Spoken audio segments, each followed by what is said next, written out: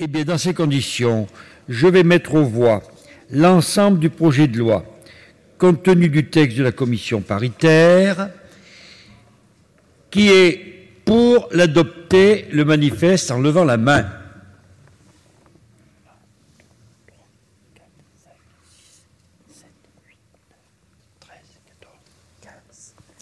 Qui est contre? Le texte est rejeté.